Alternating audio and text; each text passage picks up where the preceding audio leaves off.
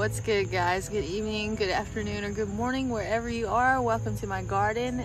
I'm about to pick this watermelon. It's got that hollow sound, got the nice yellow spot right here. And you can see the tendrils are also dried out. We have this first tendril coming straight from the watermelon and also this one. And as you can see, as you go up, start to dry out. But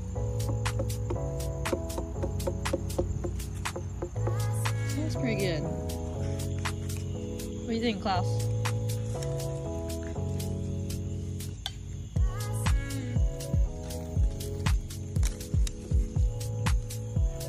All right, I got this thing harvested. Let's cut into this baby.